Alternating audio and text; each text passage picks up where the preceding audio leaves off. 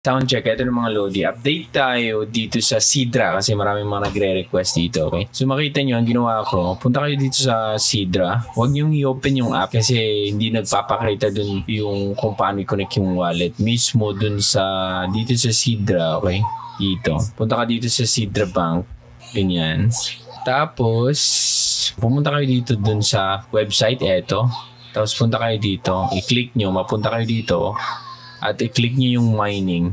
So once maklik yung mining, i-open nyo to www.minesidra. Ibig sabihin sa browser nyo i-open, pwede din sa phone. So ito magpapakita sa inyo once na-open nyo yan, okay? Make sure na naalala nyo yung password nyo or yung username nyo sa KYC port at saka yung password na nilagay nyo. So ano ba ang recommended is create new wallet. Ito naman advanced users kung gusto yung i-connect yung MetaMask nyo. Mas maganda lang ito create new wallet kasi minsan yung mga MetaMask wallet nyo hindi nyo alam meron ng nakahack dyan naantay lang nila na malagyan ng coins. Okay, kung gusto yung safe talaga eto create kayo. Create new wallet. So create new wallet but ayaw niya ang tagal. Pero yun nga lang problema dito, hindi siya maka-create ng new wallet. Subukan natin itong advanced users. Ayan. Connect wallet account to Cedar. If you choose this point, please make sure you have already installed the wallet extension. Example, MetaMask and have an account. Make sure that you understand the risk of losing your assets. Okay, eto na. Kung gusto nyo i-connect yung MetaMask nyo, eto na lang. Kasi ang hirap gumawa nito. Oh. Ayaw nyo. Click ako ng click.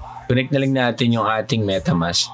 Kung gusto niyo man yung MetaMask, katulad ganito. Ayun o. Oh inulit, maglagin ulit tayo. For example, ito na lang. Kung sa tingin nyo, yung MetaMask nyo is compromised na siya, mag-create na lang kayo ng wallet na bago. Okay, parang ganito. Okay, gumawa kayo ng ibang browser, gamitin yung ibang browser, create, agree, tapos gawa kayo ng password nyo, then create wallet, tapos pwede nyo secure my wallet agad. And then, eto na yung recovery phrase. So, i-copy nyo to. Make sure na i-copy nyo yung recovery phrase bago nyo i-continue. Okay? So, wag, hindi ko muna ipapakita sa inyo.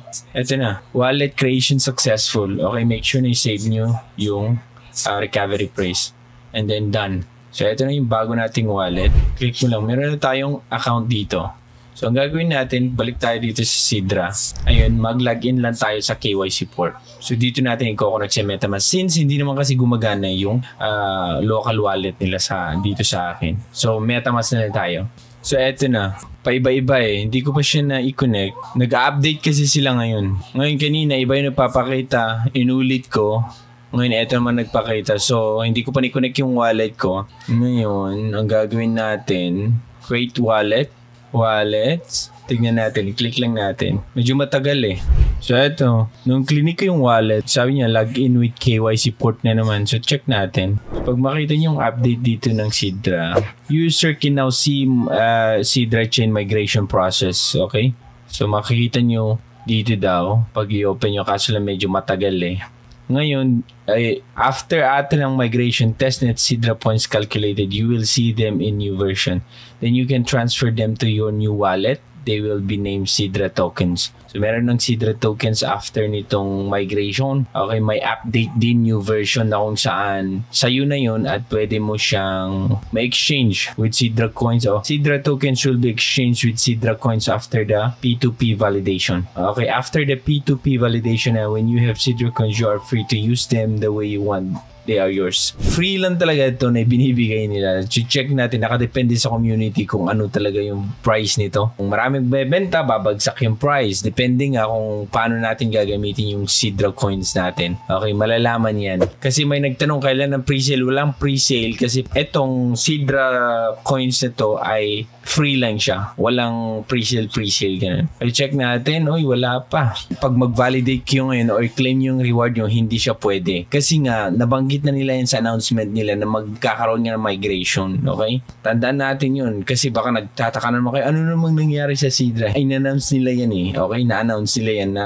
kakaroon ng migration. Ngayon, huwag kayong mag-alala kung hindi nyo pa na-connect, huwag magmadali kasi nga, eto ang tagal oh Hmm. Kasi nga, ang dami sigurong gustong may connect yung wallet, ano kung ano-ano pa dyan, nahihirapan na yung network. So ngayon, di ko alam kung paano natin gagawin, kung paano ko ipakita sa inyo. Pero madali lang naman i-connect ang MetaMask. Make sure lang na yung wallet na i-connect mo na MetaMask is hindi siya compromise. Kasi anytime, pag may connect nyo na yan, dyan madadali yung mga Cedra tokens nyo. Okay? So, uh, kung makapag-antay kayo at maayos muna yung migration at doon yung nagagawin, i-connect yung MetaMask or mag-create ng sariling wallet kasi yun yung recommended, din mas maganda. Okay?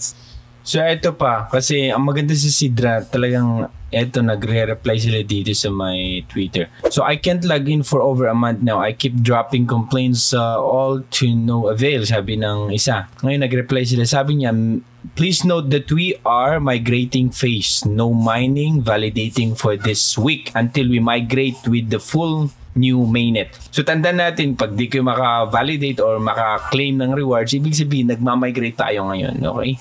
At mag-update sila kung nasa mainnet na tayo new mainnet na tayo at dun na pwedeng mag-transfer, pwedeng ma-convert yung mga points nyo into Sidra coins. Yun yung sabi dun, okay? Sabi dito, after completing our AI KYC model, you will be able to confirm your account easily in few steps. At this stage, it is more complex to help us building our system attributes. If you decide to do it later after the model is completed, you will still be on track and you will not miss anything. Okay? Ito, napaka-importante. Ang sabi niya, kung gusto nyo gawin lahat, kasi ngayon, napakahirap nga kasi ang daming gumagamit ata sa website. After na ng migration, dun yung gagawin, okay lang, sabi ng Sidra Bank. Kasi ngayon, ang focus nila is migration muna para magkaroon ng new mainnet mga Lodi. Okay? Kaya huwag kayong mag-alala kung paano nyo i-connect yung MetaMask nyo or yung mag-create ng wallet na Sidra Wallet. Kasi nga, okay lang na hindi muna ngayon. Tapusin nyo muna itong migration at magkaroon tayo ng new mainnet. Doon nyo nagagawin yung mga importante. Kasi magbibigay din sila ng instruction kung paano. Okay? So, ayan mga Lodi, ang update sa Sidra Bank. Wait natin yung update nila. Mag-update ako sa inyo. Wait natin kung nat convert na ba or nakapag-migrate na ba sa new mainnet ang Sidra Bank. Ayan mga Lodi, ako si Trogi and thank you so much for watching. Bye.